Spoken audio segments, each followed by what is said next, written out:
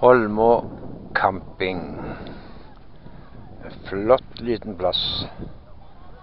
Og har en del hytter. Fine hytter, faktisk.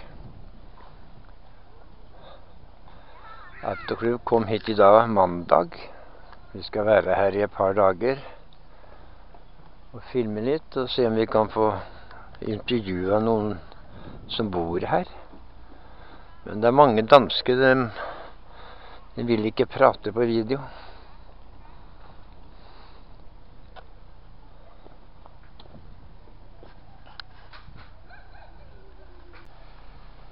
Ja, her ser dere da hyttene. Ligger på rad nedover her. Ganske flott. Kjempefint her.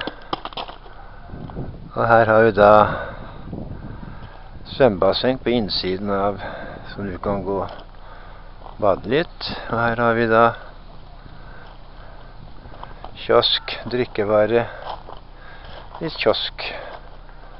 Og her har vi da faktisk Så kan du sitte her utafor og så spise litt, faktisk.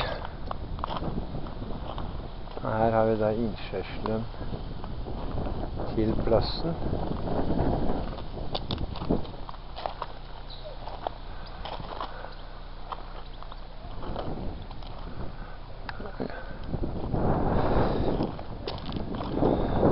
Her kan du få kjøpt litt is, gass,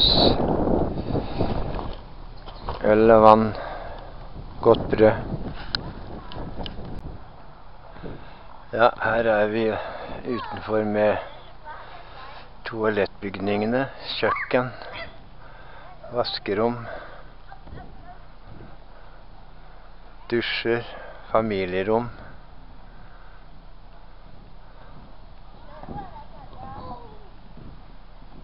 Egentlig veldig ryddig plass. Og så har du jo planta rips mellom de andre buskene her. Så det var veldig morsomt. Her kan man jo få seg litt dessert, faktisk.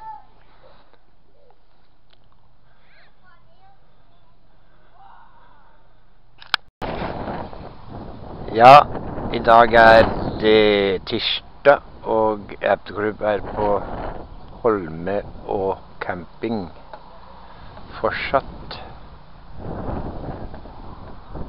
Og i dag er det kommet også et par nordmenn her som holder på å slite med teltet sitt.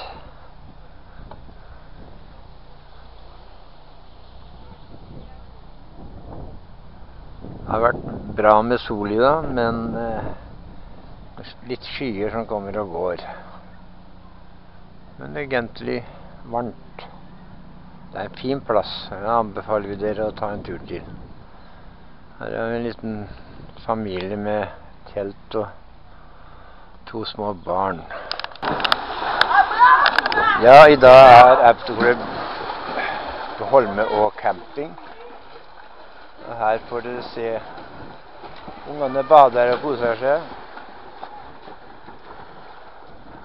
Flott basseng her. sånn. Her er det mange folk sitter og koser seg med en, en brus.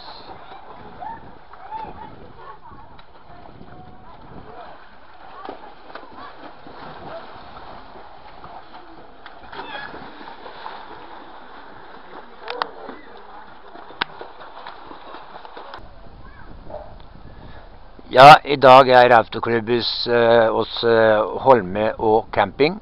Og her får de høre eieren fortelle noen få ord om plassen sin. Vær så god. Jeg er Ove og eier plassen sammen med min kone Marianne. Og vi har hatt haft campingplassen her i seks år. Og det er en lille, hyggelig campingplass med 125 plasser. Tett på Legoland, LaLandia og Givskud Zoo. Masser af natur lige op ad pladsen med blandt andet Holme Å og øh, Klilund Dyrehave, Danmarks største dyrehave. Ja, og så har dere jo en eh, veldig liten koselig by ved siden av hvor man kan få litt mat hvis man vil trenger. Ja, det er en, en rigtig dejlig gammel kro fra 1700-tallet, som leverer rigtig dejlig mad. Mm. Og så får man jo, har man et supermarked her òg, vel, i nærheten. Det er en lille supermarked i byen, ja. Ellers så må man køre cirka 10 km, hvis man skal til litt større. Men, men ellers Så super. får, får du det meste der borte. Ja. Vi har, Eh, hvordan er det med Hvor mange hytter har dere? vi har åtte hytter. Det er to uden toilet, og så er det fire med toilet, og så er de siste to, de er både med toilet og bad. Mm.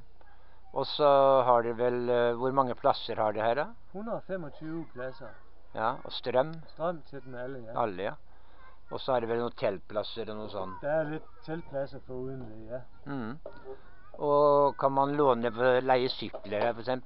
Det er cykeludlejning her i byen, lige ved, på en grunn her ved, ved siden av oss. Ja. Og her på plassene har vi hoppepuder og mooncars ja. videre til fri afbenyttelse. Er det noe fiske i nærheten her? Masser av fiskeri. Masse av fiskeri her i nærheten. Både i Holmeå og i Kongeåen og i Vardeå. Mm. Og så er det to-tre put and take søer innenfor ganske kort.